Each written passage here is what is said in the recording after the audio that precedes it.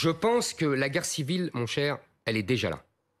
Quand on, se, on, va dans le Bataclan et qu'on massacre plus de 100 personnes à la Kalachnikov, ça s'appelle la guerre civile. Quand on, on égorge un prêtre dans son église, ça s'appelle la guerre civile.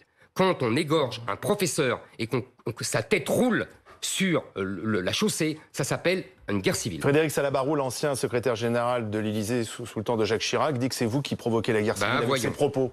Eh ben voyons. Mais ça, vous savez, c'est toutes les élites qui disent ça. Mais c'est facile. Vous savez, on a cité Bainville tout à l'heure. On a cité. Non, mais vous êtes en Attendez, mais je vais répondre. Alors qu'Alain une manière de répondre. On a cité Bainville tout à l'heure. Bainville disait déjà à l'époque, vous savez, en 1920, je fais très vite.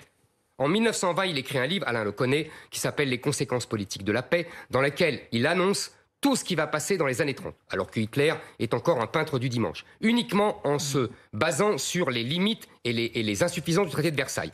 On lui dit exactement la même chose. Vous êtes un oiseau de malheur, vous êtes un prophète de malheur. Et il dit, les républicains, puisque ont l'habitude de prendre celui qui annonce les catastrophes pour celui qui les provoque. Il aura eu raison, il aura été prophète de malheur, J'espère simplement que je n'aurai pas le même succès, si j'ose dire. Et c'est pour ça justement que je, m'élève et que j'appelle les Français parce que je leur dis faites attention, on y va, on y est déjà. arrêtez, arrêtons. Moi, je n'égorge personne, vous savez. Je n'égorge personne pour répondre à M. Salabarou. Et c'est M. Salabarou quand il était à l'Elysée, qu'est-ce qu'il a fait?